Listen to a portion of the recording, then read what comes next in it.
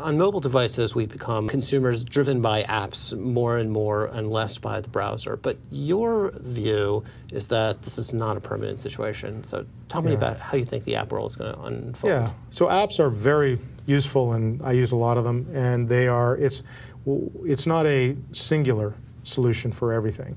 So one of the biggest benefits of apps is that the single purpose, they're quick, they're dedicated to that functional purpose. One of the benefits of the web at large is it's entirely linkable. So I can link from one thing to the next to the next. Both of those need to exist.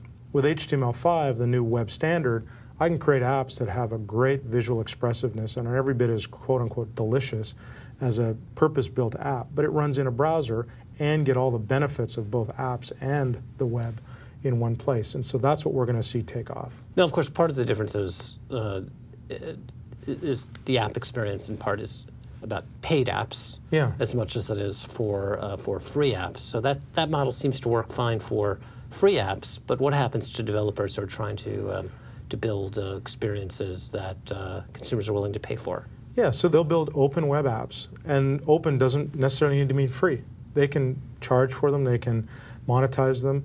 So the way that they discover them and the open web app transaction model mm-hmm. needs to be developed. We're investing a significant amount in developing that. Mm-hmm. So if, as you look out, say, you know, 12 or 18 or 24 months from now, at the way people are using their mobile devices, do you think there's a shift back towards the browser as the starting point in a way that it may not be necessarily at the moment if you're using an iPhone or an Android phone?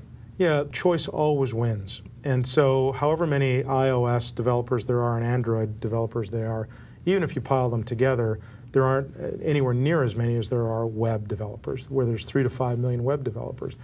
And it's hard to imagine one or two companies, no matter how great they are, satisfying all of the choice needs of an entire global society. So, one last thing I, I just wanted to raise is that it puts Apple in an interesting position as they've been the, sort of the leader of sort of the appification of, uh, yeah. of, of mobile devices, but they've also been a big proponent of HTML5.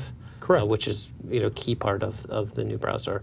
Do you see any tension there for Apple and the role that, that apps play in, uh, in, in their ecosystem? Yeah, so both will exist. And apps, when I when I do stock trades uh, on my personal account, I want a dedicated app for that. I just boom and I'm there, and it, it serves a useful purpose. When I play chess on an airplane, I want an app. But there's many situations when I'm looking for new music in some local little theater to be able to buy tickets and find a seat and link to all these different sites and then post a review. I want actually a web page to do that and a web app to do that. So both will exist.